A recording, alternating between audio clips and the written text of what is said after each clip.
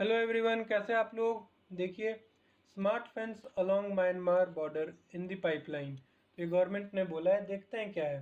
The an advance smart fencing system of 100 kilometre along the Myanmar border is in the pipeline to strengthen the existing surveillance system the 2022-23 annual report of the ministry of home affairs MHA published last week said तो ये report में बताया जा रहा है smart fencing हुई है hundred metre की म्यांमार बॉर्डर पे, क्यों अच्छे से सर सर्विलियंस करने के लिए? Unfenced border and unregulated migration from Myanmar have been attributed to some of the factor responsible for the ethnic violence in the Manipur तो जो मणिपुर में एथनिक वायलेंस हो रहा है, कहीं ना कहीं उसका यहाँ से जो आपका माइग्रेशन अनरेगुलेटेड माइग्रेशन हो रहा है म्यांमार से, वो इम्पोर्टेंट हो जाता है। देखते हैं the report stated that in 2022 out of 201 insurgency related incidents registered in all northeast states. As many as 170 137 incidents were registered in manipur. तो मणिपुर में आप देखिए 201 में से 137 तो मणिपुर में हुए हैं। तो कहीं ना कहीं ये सही बोला जा रहा है, जो एथनिक क्लैश हुआ है मणिपुर में, वो उसका एक बहुत बड़ा रीज़न यहाँ से जो अनरेगुलेटेड माइग्रेशन है म्यांमार से वो होगा। Manipur is affected by the activities of Meitei तो मणिपुर जो है वो मीटी के एक्टिविटी से अफेक्ट है। नागा, कुकी, जूमी, हमार इंसर्जेंट ग्रुप्स तो ये मणिपुर इन सबसे वजह से थोड़ा सा वहाँ पे अफेक्ट हो रहा है। और total of twenty three U G underground outfits under the two conglomerates United public front U UPF 8 and Kuki national organisation K N O fifteen are under suspension of observe suspension of operation S O Pact with the government of India since August 2008, the report said. The MHA said Ministry of Home Affairs said that a free movement regime FMR exists between India and Myanmar. Under the FMR, every member of the Hill tribe who is either the citizen of India or a citizen of Myanmar and who is resident of any area within 16 km of either side of the Indo-Myanmar border can cross the border on production of a border pass, one year validity issued by the competent authority and can stay up to two weeks per visit.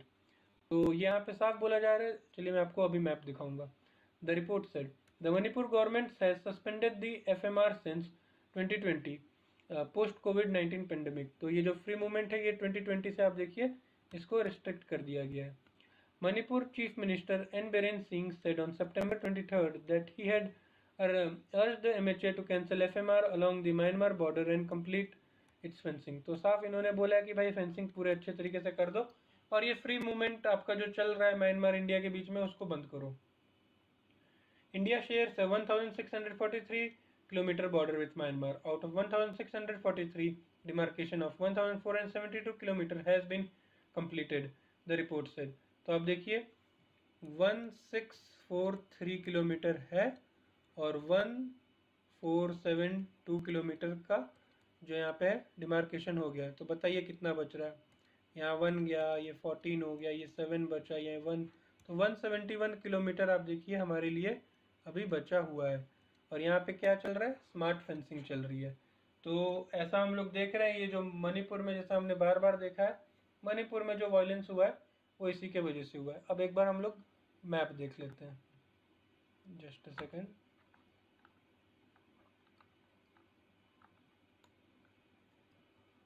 ये आप देखिए India का map और ये रहा Myanmar तो आप location देख लीजिए, ये इंडिया है, ये म्यांमार है। इसको थोड़ा जूम कर लेते हैं हम लोग जूम इन कर लेते हैं।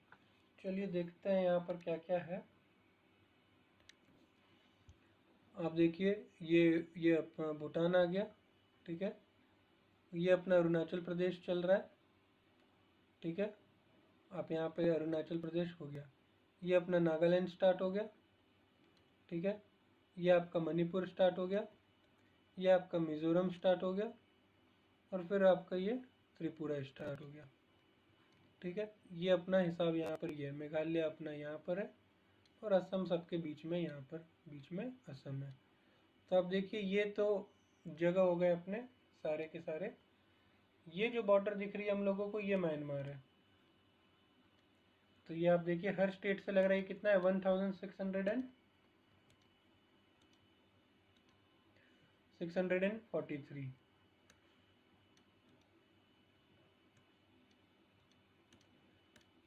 1643 है यहाँ पर, और कितना हो गया? 1472 तो 171 किलोमीटर अभी बच रहा है।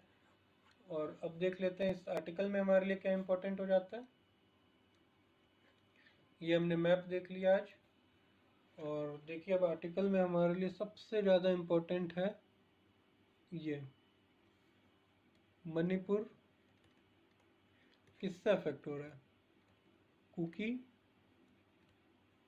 जोमी हमार और नागा और मीती इनसे मणिपुर, ये इंसर्जेंट ग्रुप्स है, इनसे अफेक्ट हो रहा है। एफ़ हमारे लिए इम्पोर्टेंट हो जाता है। फ्री मूवमेंट जो हमारा था किसके बीच में? फ्री मूवमेंट रिजाइम इंडिया और म्यांमार के बीच में। क्या था बॉर्डर के? इधर 16 किलोमीटर, इधर 16 किलोमीटर। लोग फ्रीली मूव कर सकते हैं मतलब ये 32 किलोमीटर का यहाँ पे एरिया ले ले रहे हैं हम लोग। ये लोग फ्रीली मूव कर सकते हैं, इसमें पास बनेगा वन ईयर का और आके दूसरे कंट्री में वो लोग रह सकते हैं टू वीक्स तक। तो बस इतना हमारे लिए जानना ज़रूरी था। 2020 से कोविड 19 के बाद से ये इस चीज़ को बंद कर दिया गया देखिए टू वीक पर विज़िट ये लोग रह सकते हैं।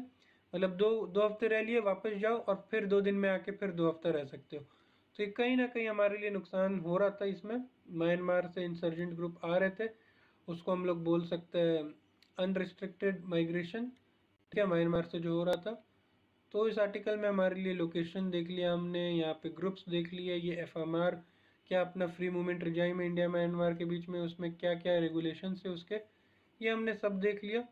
तो ये आर्टिकल हमारा कंप्लीट हो गया। So thank you guys and please work hard to achieve all your dreams